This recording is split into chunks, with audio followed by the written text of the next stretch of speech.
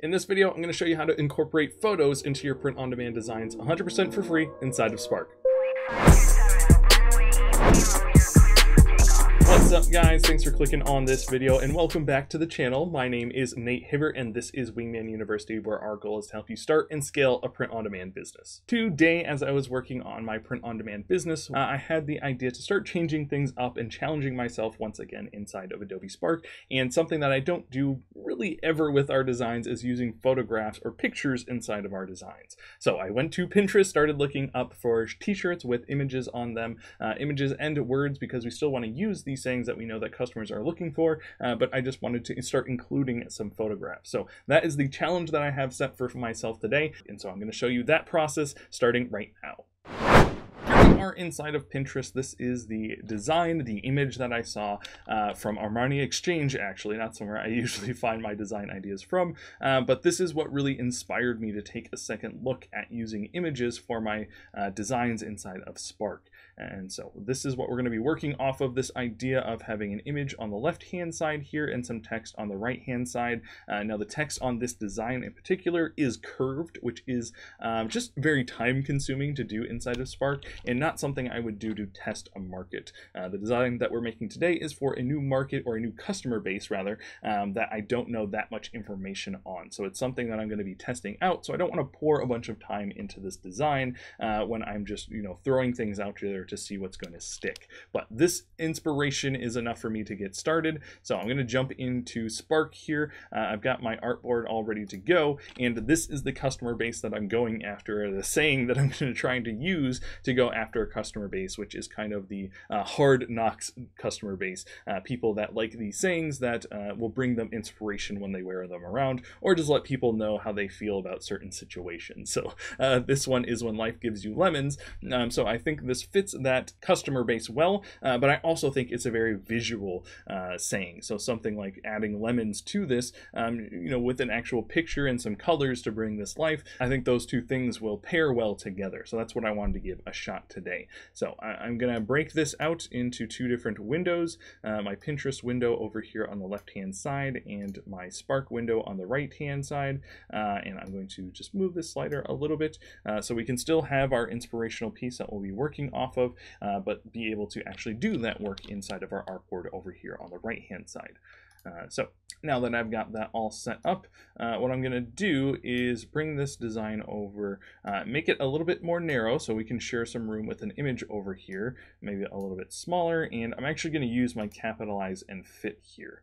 And whenever I use that capitalize and fit, it's a good idea to keep in mind that whatever the biggest word is here uh, is what's going to draw the most attention. So when life, which is a word that I want people to focus on, uh, gives you lemons, uh, which is probably the second most important word that I want people to focus on. Uh, so I would say the split is okay, uh, but I'm just not a fan of giving give and you uh, being on the same line. So I can make this a little bit more narrow and then everything will be a little bit more evenly spaced, which I like. So when life, which is still probably the biggest one, maybe second to you, uh, which I like and gives you lemon. So I, am happy with the uh, proportions that we have here and just the overall size of this uh, text box. I think this will pair well with an image once put over to the right. I'm going to move this over to the right just a little bit and I'm going to go up to my add button and add in, oops, not an icon, but actually a photo. And I'm going to be using the free photos from Unsplash. So you can click this little check down here. Uh, there's Pixabay and Unsplash. I'm a lot more familiar with Unsplash, and I've used them for a lot of projects in the past, uh, and so that's why I have that selected. And you guys can see I was already in here looking at some lemon pictures uh, to just see if this idea had legs, which I think it does. And there's two different images in here that I'm really stuck in between. So you guys in the comments can let me know which one you think looks better. Uh, I really like this hand that feels like it's more handing you uh, lemons, which is a, like the exact visual that I have in my head. Uh, but also I think I can do something kind of cool uh, with this lemon down here, which is on this nice blue background, but more of a cross section of the lemon. So I could use this uh, half and kind of keep with the same idea of keeping our design a little bit rounded. Uh, so I'm going to try this one out first. This is a little bit more of an abstract idea. And I think the other image of the hand uh, giving us a lemon is a safer bet. So let's try this one out first. And so when I first started using Spark, there was absolutely like zero functionality for photos. Uh, you maybe could do some small tweaking, but Now uh, they have all these cool things built in, including shape, uh, shape crop rather. Uh, and if I click shape crop, what that's going to allow me to do is to pick a shape that I want this to be cut out in. So no longer does it just have to look like a boring photo, uh, which is a kind of a rectangle here, but we can pick whether we want it to be a heart or a star, or the one that I'm interested in for this project is this half circle. And so if I move this uh, handle here, being a half circle, I'm actually going to have to check that in um, and then go back into it. That way I can move this photo around a little bit more freely and we can just line that up uh, the best that we can. And so this was the exact idea that I had in my head when thinking about how can I pull this off. You know, I, I saw this circle, I was like, oh, we can use those cool new shape crops inside of Spark.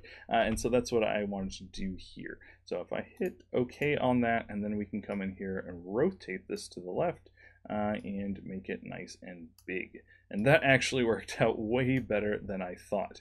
Now, the hand is kind of throwing me off, so I might find a different image. Uh, I really like this blue, uh, but something that we can actually look at is to see if the other side of this lemon, ah, the other side of this lemon has a lot more blue. So what I can do is go back into our crop menu here and I can actually rotate this image so that way I can get more of the blue on there. So if I rotate it like that, that gives us a lot more of the blue and a lot less of the hand. Um, so I think that works out a lot better. Now, I'm really liking this image. I like how we're using the crop here, um, but this text just feels a little bit heavy and doesn't quite match. Uh, one thing that we can try and do is align this slightly better, but also change the color. Uh, I just kind of generically picked a yellow when I started this, but if I go in here and use the color selector uh, and use an exact yellow off of the lemon here, uh, that might feel like they tie together a little bit better. So I'm gonna do a light yellow and see how that works out. Oh, didn't select, but I'm going to use this light yellow and see how that works out. Um, so that can tie us together a little bit more, uh, but something we could also try is using this blue. I was just ranting and raving about how much I like it, uh, so maybe that will work best on our text. Uh, not liking that either. So uh, I, I think the big problem here though is not being able to curve this text. So regardless of what color I make it, uh, it's never going to be curved or, you know, I'm not going to take the time to test it out uh, to curve it inside of Spark here. So I, I think what I'm going to do is actually go to plan B and use that other image, which is someone handing you a lemon. So we won't get to use our fancy shape crop, um, but this was just a good experiment, something to test out, something I'm always doing inside of Spark, finding ways to challenge myself, kind of push what this tool is capable of, uh, and just think outside the box of how we would make something like this work. I definitely think we could, there's ways that we could align this, uh, but for the simplicity of the design that I'm trying to create today, uh, I'm going to stop there with kind of innovating on this uh, and go back to something that I think would work a little bit better. So I'm going to go into my free library once again of photos. I'm going to scroll up and find that other design that also has this nice shade of blue, um, but is more of a to the point, or maybe exactly what you have in your head when you hear when life gives you lemons. So this is it. I'm still going to use the crop tool here. Uh, I definitely don't want their sleeve in here, and I think this is just a lot of dead space with this blue, so we can crop in just a little bit. I'm going to move this all the way to the left of our box here, and you can actually use your arrow keys to nudge it exactly where you want it. We want some space, some padding in between our hand uh, and the box that we're going to crop it into, but I think that's about good. We don't need so much of their arm in here. So if I hit this check mark, I can make this nice and big again and then we can move this off to the right hand side. Uh, and now I'm just going to play with the sizing a little bit. I want these two to feel like they belong next to each other and not like one's dominating the other.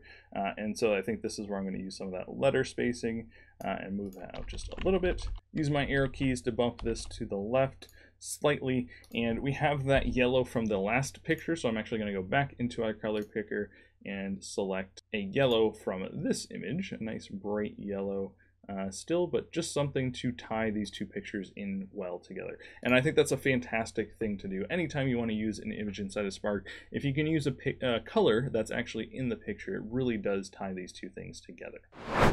I'm going to keep tweaking that design here for a little bit before I submit it to go out to print, but I did want to acknowledge that I moved through that process very quickly. I'm very comfortable with Spark at this point in my career, so I might brush over a thing or two during this video, but if you'd like to see a step-by-step -step guide, we do have that for you on our website, where I've gone all the way from starting your Adobe Spark account to creating your first print-on-demand design. If you'd like to check that out, there will be a link in the description below, or if you'd like to see more videos like this where I'm creating using the tool Spark, you can check out these playlists here. But until the next video, I'll see you guys around.